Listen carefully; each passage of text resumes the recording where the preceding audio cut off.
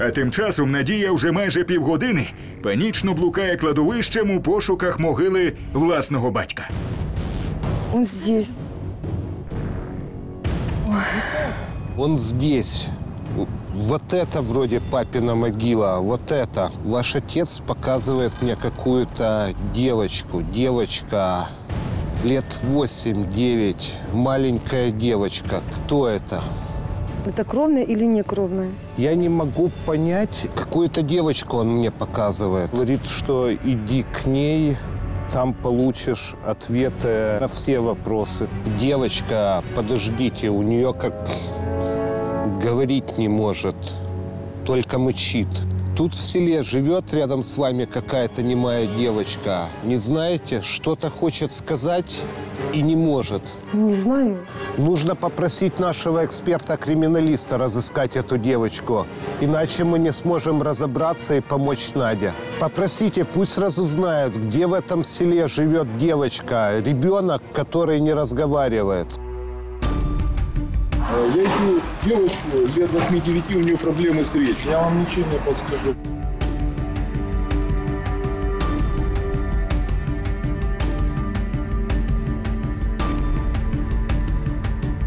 Здравствуйте.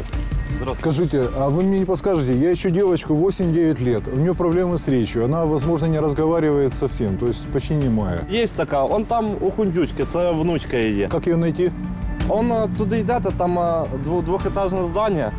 Е, Перший е, у неї під'їзд е, на, на першому етажі, вроді як 12 квартира. Очень интересно, спасибо большое. Пожалуйста. Алло, я ее нашел. Дима, извините, пожалуйста, нашлась девочка, есть такая в селе. Нашлась, я же говорил.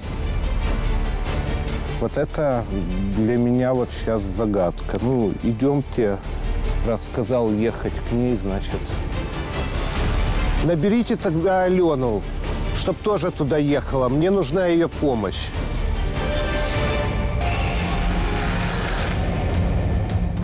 До будинку, де живе німа дівчинка, яку попросив розшукати Дмитро Дульський, сходиться уся Надіна рідня. Вы побудьте, пожалуйста, здесь, Дмитрий, мы сходим сами.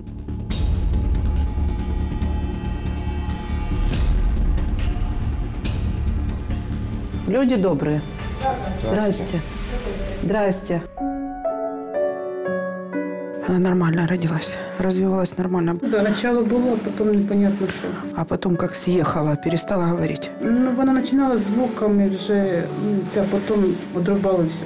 Речі нема, зараз звуки тільки. Це Катруся. Останні кілька років вона страждає від невідомої хвороби, що уповільнює її фізичний та розумовий розвиток. Дівчинка до восьми років розмовляла, а потім перестала. В этой квартире я понял, девочка – это была подсказка от духа Надиного отца. Только найдя эту девочку, мы смогли бы почувствовать ее бабушку Галину. А Галина это кто, получается, ваша свекровь? Да. Але чому ясновидців так зацікавила бабуся нещасної дівчинки? Який стосунок має ця Галина до розслідування? Нічого не пояснюючи, екстрасенси прямують на двір до автомобіля. Алена, нам надо обязательно пообщаться с Галиной. Люди, наверное, пусть обождут. Мне ее невестка дала номер телефона, я ей позвоню сейчас. Алло, Галина, это Алена Курилова, экстрасенсы. Нам очень нужно с вами поговорить. Скажите, где мы вас можем найти? Да, это в Желтневом. Хорошо. Хорошо. Ждите нас там, мы сейчас подъедем. Чому екстрасенси так наполягають на зустрічі з Галиною? Який стосунок вона має до суїциду Надії та смертей у її родині?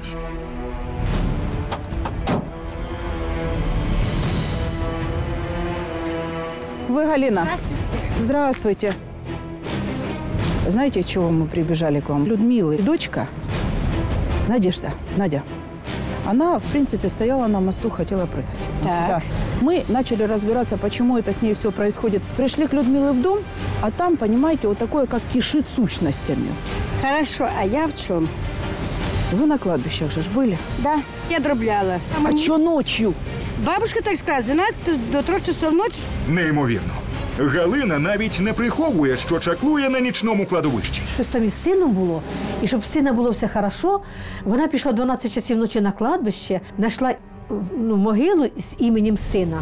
Там щось і зробила, то вона каже, і шуміло, і гуло, і скрізь літало все на світі. Тут у селі про неї багато погано балакали, що вона така, як як відьма, то таке щось. Погано про неї балакали.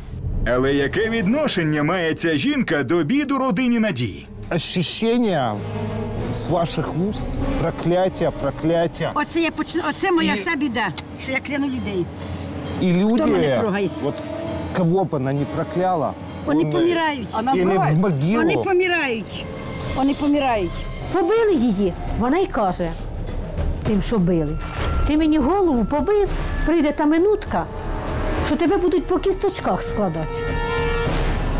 Так і случилось. Вони виїхали на трасу, розбилися.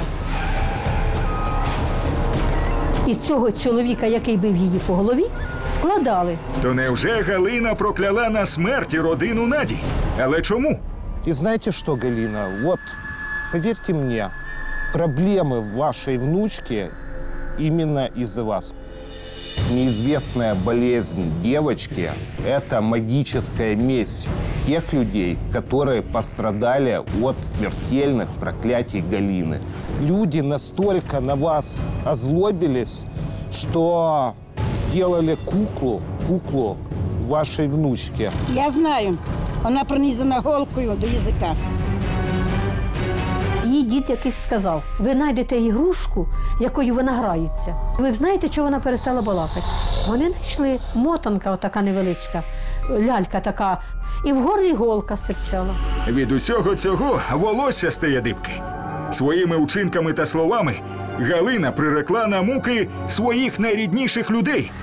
Але як це стосується Надії? Я увидел Людмилу, Надину маму, вместе с Галиной.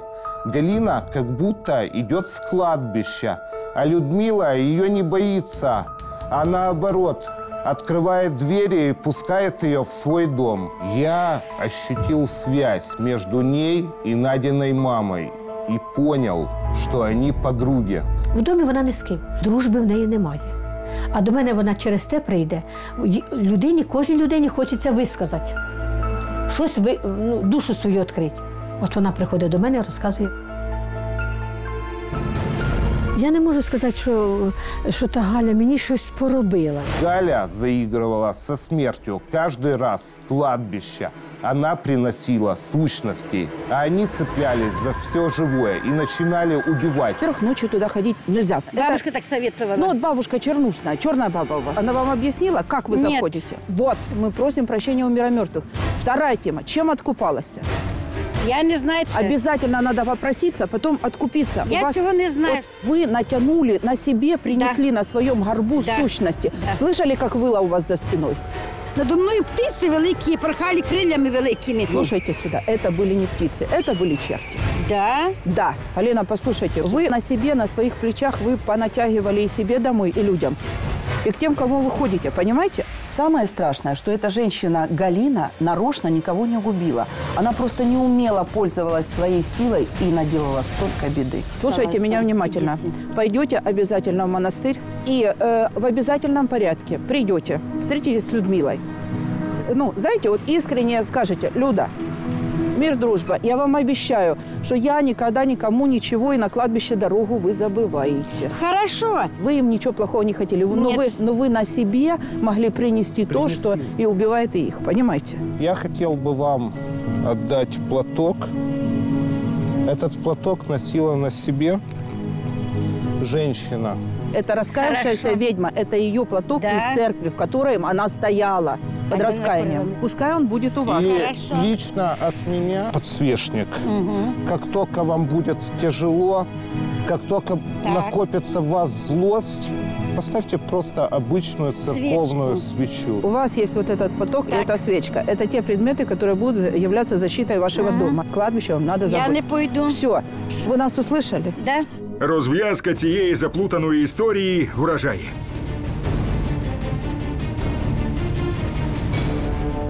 Я реально понимаю, что из-за этой Галины Надя кончается из-за этого. В ее как будто бы вселялась какая-то сущность, принесенная этой Галиной. Довгі роки Надіну родину жорстоко та цілеспрямовано знищували потойбічні сутності, яких подруга її матері несвідомо запросила в їхній дім. Якби екстрасенси вчасно не втрутилися, смерть Наді теж була б неминучою. На самом деле, она вас убивает. Это как человек, который имеет, ну, как прокаженный, имеет определенную за собой шлейф. Шлейф того, что она понатягивала из кладбища. Пришла, немножко подразбросала, а вы кончаетесь, понимаете? Людмила шокована. Вона навіть подумати не могла, що подруга, якої цураються усі, окрім неї, могла стільки років приносити у її дім горе та смерть. Ми всі були ну, в такому невіденні, ми не знали от чого і, і що, і як. Е, У мене в дочки дуже були проблеми великі. Сьогодні рішилось усе. І ми ну, знайшли причину цієї проблеми. Защититься от этих сущностей, которые приносила Галина с кладбища, выгнать их можно только благодатным огнем. Мы дали Людмиле и невестке самой Галины специальные заговоренные иерусалимские свечи. Их нужно раздать каждому члену семьи и их огнем очистить себя и свое жилье. Только после этого эти сущности оставят этих людей в покое. Поставьте в банке с солью и умывайтесь, умывайтесь, мойте, ну, как огнем, вот как бы собираете его и мойтесь, чиститесь на эту свечу, а чтобы оно все сливалось, стекало, стекало, пока не прогорят эти свечи.